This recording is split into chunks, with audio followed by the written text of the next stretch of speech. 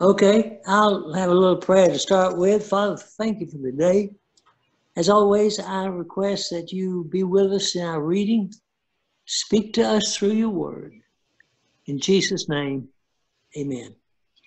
Uh, last week, uh, by way of review, just to kind of set the stage, uh, Paul has written reminding the people reading this letter uh, that uh, he had a calling special calling from God.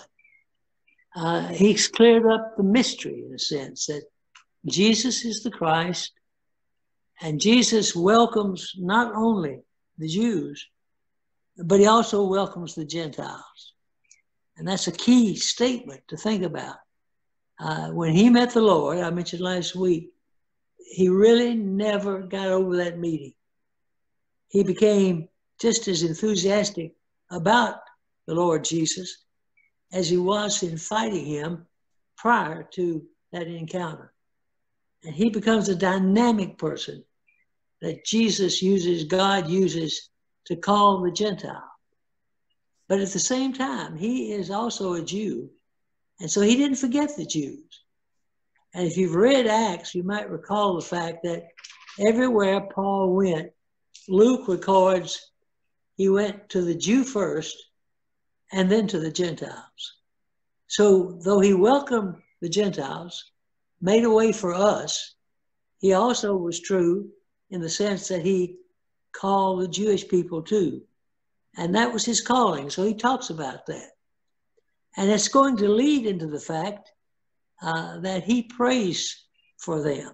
Not only should they remember he had a calling, he is telling them, you also have a calling. I don't know what your calling is. We're going to get into that a little bit later. But each one of us tonight, as we talk and think, we've all been called of God. And we've made an initial answer to that call uh, when we said, Yes, I believe Jesus is the Son of God. And when we were baptized, uh, when we were buried with Christ, we died, we were buried, we were raised, and we were new people may not have realized all of that, but that's exactly what took place. And so this is the calling. And so this man says, I fulfill my calling. And I want you to do the same. You have been called. So do the same as I have done. Whatever your calling might be, you are to answer that by the way you live. And we'll, as I said, get into that in just a few minutes. But then there was also something else he said that I think very important, and I mentioned last week. For he says, also remember that I spend time praying for you. And I want to pray for you along these lines. I want you to have inner strength, inner strength, the ability to say no to Satan. Now, Satan knows as, as well or better than we know ourselves. He knows exactly what buttons to push. They get a response from us. He knows what he knows us. And so we try to fight him. And he is saying, remember now, you have strength that other people don't have. You have inner strength. You have Holy Spirit strength. Now you're going to have to be open to him. And you have to be open to that fact. Just like he also says, I want you to understand how much God loves you. You have to be open to that. Just like this inner strength, the love of God, you have to be open to it. You have to experience it. And then you begin to see. Now, that don't mean that you'll always do what you're supposed to do, but it means that you can. And so he says, I'm praying, I'm praying, I'm praying for it. Not only do we pray for ourselves, we pray for others. And so he's saying that uh, I pray for you. Uh, some of you might remember Brother Bob Neal. I've mentioned him before. He used to be one of the key men at Brentwood Hills. I'm talking way, way back.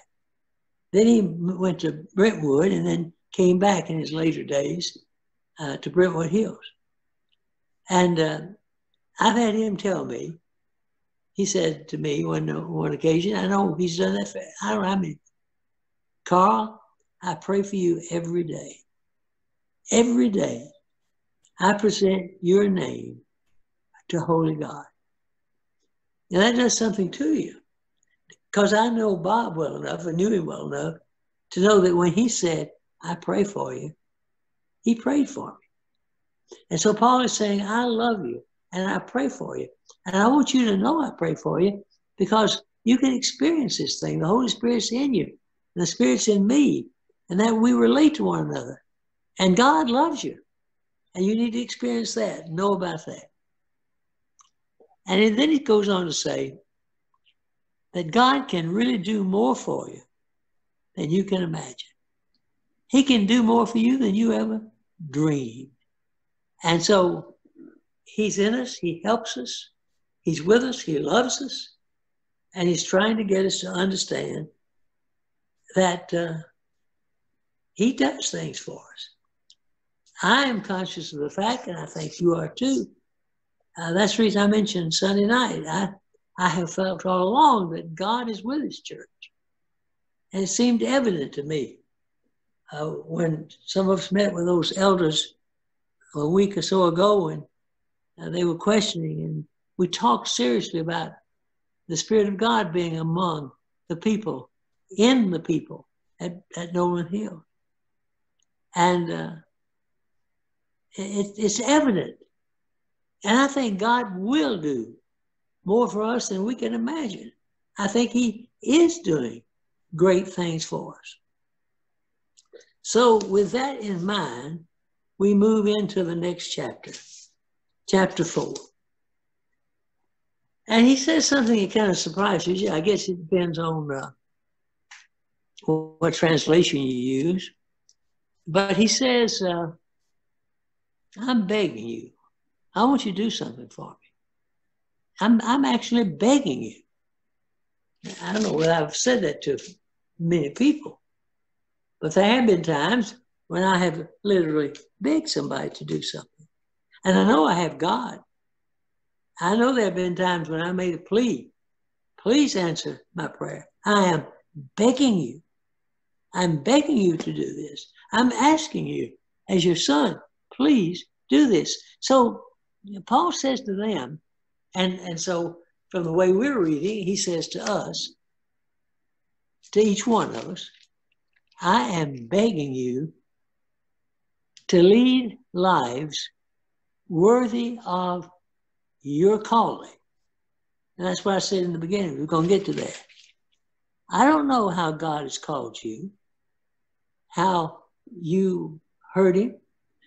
I've talked to you before about the fact that I've sometimes answered in a foolish way, I guess. Uh, when people say, Have you ever heard the voice of God? My answer has always been yes, no, or no, yes. Uh, I've never heard an audible voice, I've heard an inner voice. I've heard, I knew it was God who was speaking to me. Uh, in my life, in the, when I was in the 12th grade, I had always planned to go into business with my daddy. That was my plans. He had started the Mac Pest Control. And uh, he and I talked about having an office in a certain building in, in Nashville and, and uh, the dreams we had. And I came under the influence of Dr. Joe Sanders at the Jackson Park Church of Christ. And through him, I heard the call of God on my life to change and to tell my daddy that I was not going to do that, that uh, I was going to become a preacher. And that came out of nowhere for me. I never thought about that personally. And uh, I do believe that people are called to ministry. They are called to certain things. But that means all of us who belong to God are called to something. And we'll talk more about it as we go along. Try to live a life that's worthy of who you are. So we started out, and I've been talking about this all along the idea that tonight I'm talking to a son or a daughter, the whole group. Most of us, I'm sure all of us, may well be in the family of God. We were called there first. I had been called to answer Jesus' call on my life to become one of the children of God through the blood that he shed for me. And so he's saying, now I want you to live a life worthy of that. That was a sacrifice. We often talk about the sacrifice of Jesus and what that really means. that he sacrificed himself for me. And then he goes on to explain this. Paul doesn't miss much. Excuse me. He didn't miss much. So he says, let me let me talk to you a little bit about what I mean. For example, if you're going to live a life worthy of your calling, you're going to have to have humility. And we make a joke out of that a lot of times. I'm, you know, I'm proud of my humility. And, and we, we say a lot of things about humility. I'm just such a humble person. Uh, uh, Joyce played a sermon. I heard part this morning that I preached, I don't know, four or five years ago uh, at the lectures at Lipscomb. And uh, it was uh, the idea right along these lines that I, I said, it's, I'm, I'm reading something to you about humility. And yet at the same time, I'm having a problem because I don't want to be the worst speaker on the program. I would like to do a pretty good job so that you might think I did a good job. So I'm, I'm having to combat this concept of too much pride and humility. But he says, I want you to be humble people. And then he said gentleness, and there's another one right there. I'm not always the most gentle person in the world, right? I'm not the most gentle person. Sometimes I am. Uh, uh, so I do with my little kids. I can be, but I can also be different than gentle.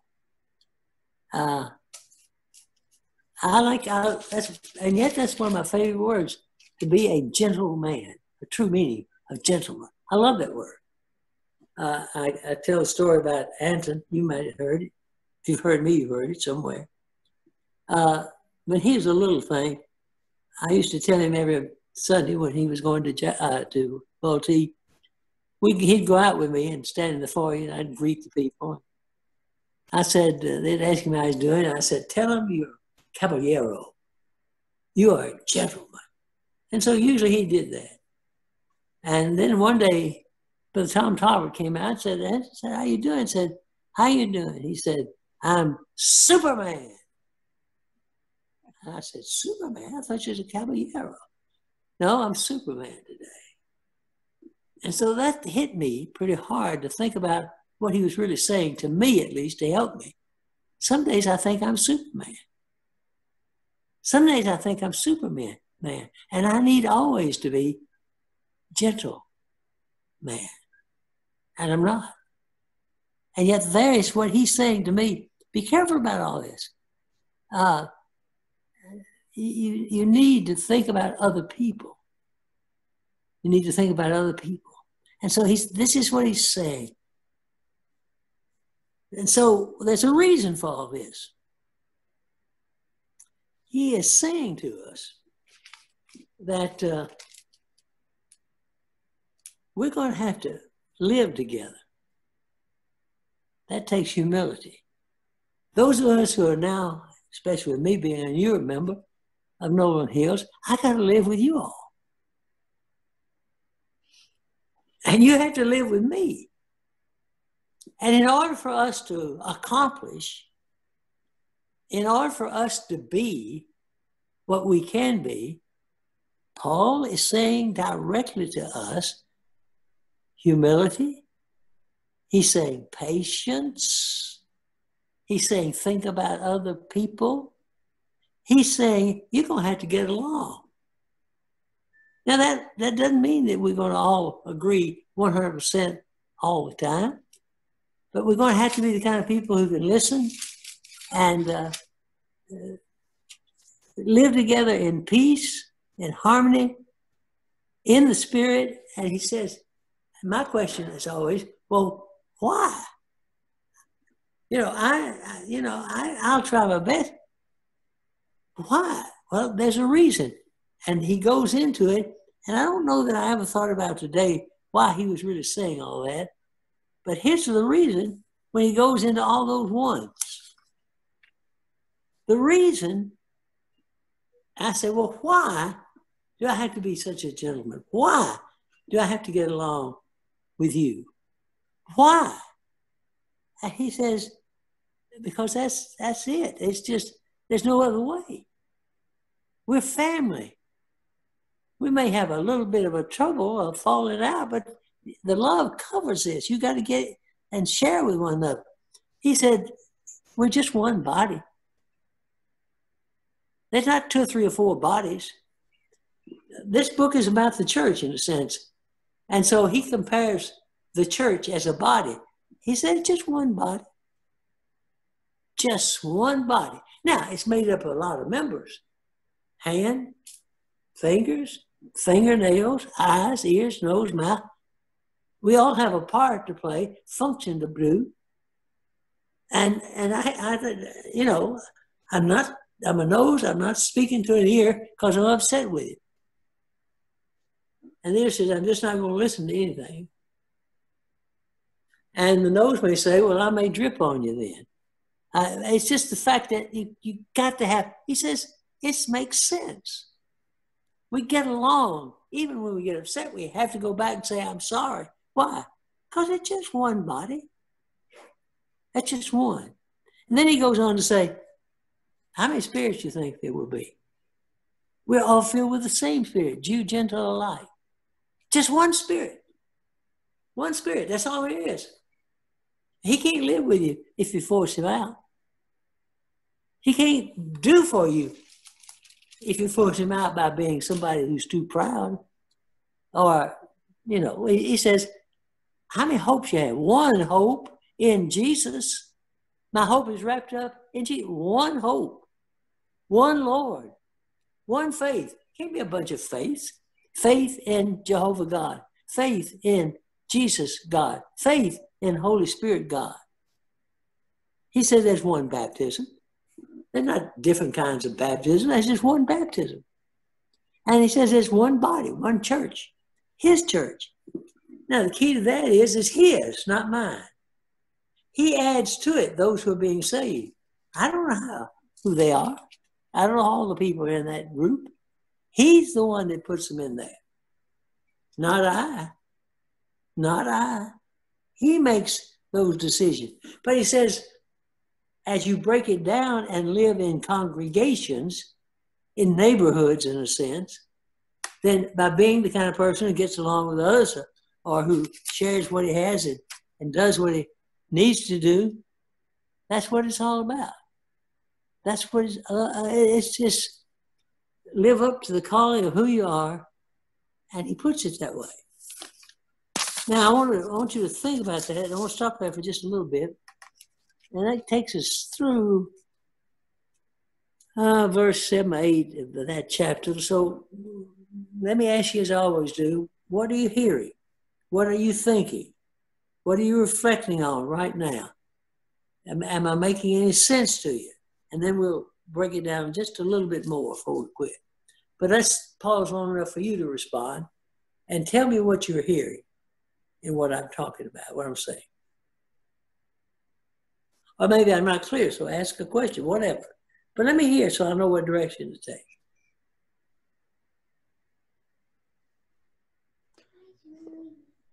Well, just thinking about the, uh, you know, verse two being humble and gentle. You know, I, I think about, you know, stuff that happens at work, for instance.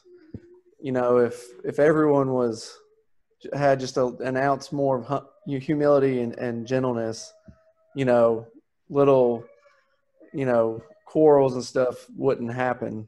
And um, same thing at home or in the church. But that's, you know, having that humility is probably one of the hardest things to have. So yeah. I don't know. And yet you're called, we are, I am, you are called on to develop that because in another place, Paul says, as much as life in you, live at peace with all men, which would indicate what? Think about that. There are some people you can't live at peace with. As much as as, as much as you can cause peace to happen, there are times when you can't cause peace to last all. you don't have the power, the position, or the strength, or you're dealing with some people who just don't care. So, but it puts it on you to do what you can to live in perfect harmony with people. It's the same thing in marriage. It's the kind of thing you have to have some give and take. And uh, you have to listen. You have to not always get your way. Uh, I used to say that I've never been wrong, I mean, never been right at work or home.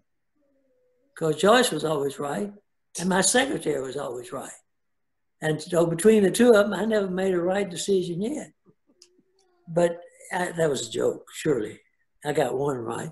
But anyway, it was the fact that uh, uh, it's, it's who we are. We have to be careful. And he said, I'm begging you to give some thought to this.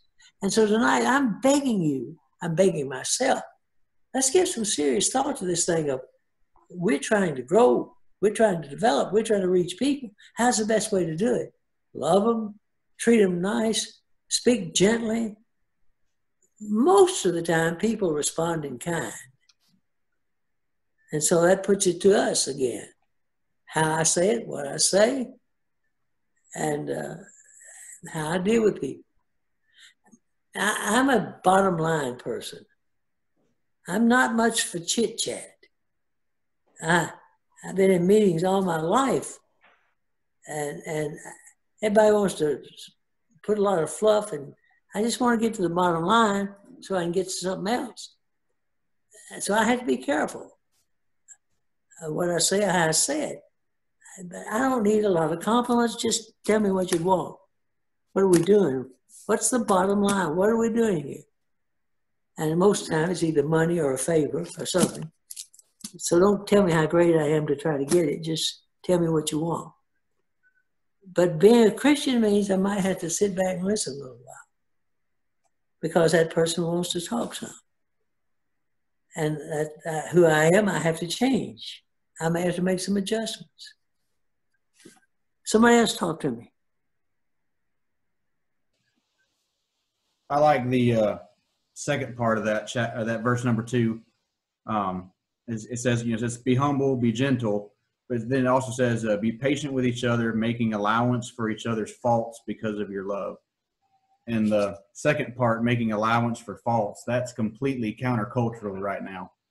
Um, oh goodness, yes. There is no grace for anybody else's faults. It's imme- you're immediately called out if you're not doing what the you know flow wants to do, and there's no patience for you. Um, so that's that's needed nowadays more than anything, I think.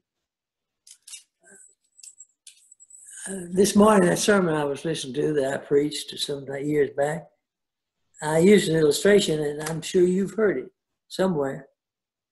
Uh, there was a gentleman at Vultee years back. Uh, he was an immigrant. He worked downtown. Uh, he was a good man, I'm sure, in many, many ways, but he had a habit that just tore me all to pieces. He was old. He was an older man at that time, and I wasn't as old as I am now. But I'd go over to the building every Sunday, and this man would come up to shake hands with me, and if I was talking to somebody else or doing something, he'd hit me across the shins with his walking stick. And then he'd stick out his hand to uh, shake hands with me and say, Good morning, Brother McKelvey. Uh, it was a hard thing for me to live with that. And I remember I told Joyce one Sunday, after about a year of it, that if he hit me this morning when we go over, I'm going to take the stick and beat him to death. And I said the Lord was with me because he hit me, as always, and stuck his hand out, and I shook it.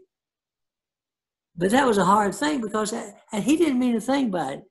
He didn't know that when you take a stick and hit somebody, maybe I did wrong by not correcting him. Or maybe I did the right thing but not, because normally I would probably do something. And I'm just saying, you have to know motivation. You have to think about who he is. Uh, I've had far more advantages than he had had. And so out of love, uh, it was just something you do. Uh, and there have been a lot of things that you you have to learn to give because it's for the good of the cause. And that second part that you just mentioned, that's what that's saying. That there are times that uh, you'd rather respond in some other way, but you just can't. You have to think about loving people. Anybody else? Anybody else? Well, go right back to it for a few minutes now. Spend just a little bit more time. Boy, he says in, uh, let me see, verse 7. Uh, However, now he just said all these things. There is one hope. There is one Lord. There is one this. There is one that. But then he comes down to it and says a word that says, however, he has given each one, each one of us, a special gift through the generosity of Christ. And then he goes on to say that Jesus came to earth, he went back, but in so doing, the Holy Spirit gives the gifts. And we're going to read these things, that these gifts. Now, this is where I want you to be. I want you to be thinking now. It's right out of the scripture. He says that everybody has something to give back. I want you to hear there are different gifts listed in different places, but the ones we're reading, I want to read them and I want you to think about each one of them. Doesn't mean you're going to have all of them. Doesn't mean you got any of them. Because there are all kind of gifts listed. But I'm telling you, you can do something for the cause that I can't do. I can do something you can't do. And when you're talking about a body, it's like we said, it takes the body working together ears, nose, mouth, feet, legs, all of it. Inner workings as well. So here's what he says. I'm skipping down now to verse 11. These are the gifts Christ gave to the church. The apostles. Now we're talking there about what? The 12. Or extended. Doesn't say the 12, he says apostles. There were more than 12 apostles. Barnabas was an apostle. James, the half brother of Jesus, was an apostle. An apostle was one, a missionary, sent out. Barnabas was an apostle. Now, he wasn't one of the 12, but neither was Paul. But Paul said, speaking of himself and Barnabas, we weren't one whit behind the 12. And that didn't mean they were all perfect because Paul himself confronts Peter and says, You're definitely wrong in what you're doing when he began to refuse to eat with the Gentiles when there were Jews around. But he said, I have appointed some men as apostles. And so many of them were inspired men. Now, I also had prophets. Now, a prophet is not just one who prophesies the future, he, he speaks out for the Lord. So, in some sense, I guess a man could be an apostle one sent. He could be a prophet in the sense that he preaches. Now, that's possible in the way the words are used. And then he goes on and he says, evangelists. I take it that's the traveling missionaries and the pastors and teachers. Now, in some translations, it has pastor slash teacher, one person there, a pastor teacher, uh, which is pretty much what I've always considered myself, a pastor teacher. Uh, that's that's I think the most gift I have as a pastor teacher. Now that's extremely important for, for that is in a sense the general organization of the church. But now hear the rest of it and hear it clearly. For then he says, their responsibility, who? These people who have these appointments, these gifts, their responsibility is to equip God's people to do his work and build up the church, the body of Christ. And always, just naturally, most people fall into the idea that the preacher and the elders do all the work. That's not true. That's not what this says. Paul says there are people who can train you. There are people who can help you develop for the doing the work of the church. Now, where does that put it? On the people who make up the body. Not just the elders are the pastors of spiritual life and not bosses. Preachers are not the clergy in the sense of, well, in the sense they are where we use it and what they do. But he's saying if you're going to do something, train people. I spent the last 20 years of my life out of administration, but working with younger preachers nearly every day, helping them, being a mentor, trying to help them see their role. And, and trying to get you to understand that these elders now are to be the shepherds for the sheep, that's us. But as sheep, we can learn and we can do and we can function because those who have been gifted in special ways are to help us, to train us.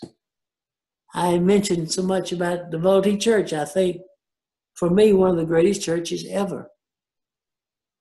Uh, and we spent years training teachers where the educational program of the Vultee Church was, I thought, a tremendous power in this world. Teaching them to carry out the work of the church. And that's what he's talking about here. So, there's a reason for it. Right on down, verse 14. Then we will no longer be immature like children. We won't be tossed and blown about by every wind of new teaching. We will not be influenced when people try to trick us with lies so clever they sound like the truth. Instead, we'll speak the truth in love, growing in every way more and more like Christ, who is the head of the body, the church. He's the head, we're the body, we're the workers, and we need to be trained to do our work. He makes the whole body fit together perfectly as each part does its own special work. Special work, why? Whatever God's chosen you to do, you need to decide who you are, what part of the body you are, and function. Own special work. It helps the other parts grow so that the whole body is healthy and growing and full of love. And that's our stopping part tonight, point tonight, right there that we have a calling and we answer the call and we are to be trained to function as our part of the body, whatever it is. It may be just being a mother. It may be just, just as good as you get. It may be mean being a great cook and sharing your skills. It may mean being a teacher. It may mean singing. It may be whatever cutting the grass. It may be this, whatever. But we all function. It may just be talking to a neighbor and saying, Can I help you? I love you. Or expressing ourselves or inviting them to study with you, whatever. Not trying to force you into some mold that you don't fit, but a discovery of who you are and get people to help you become even better at what you have a natural talent for.